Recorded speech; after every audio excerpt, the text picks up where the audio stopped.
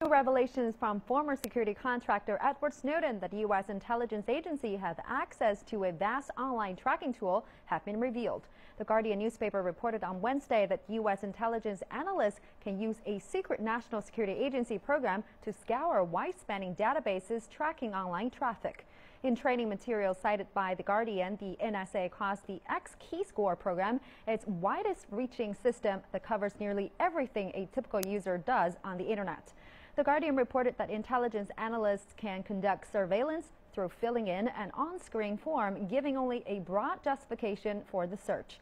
It also said the program spans approximately 150 sites and over 700 servers around the world, and intelligence from it had helped capture over 300 terrorists.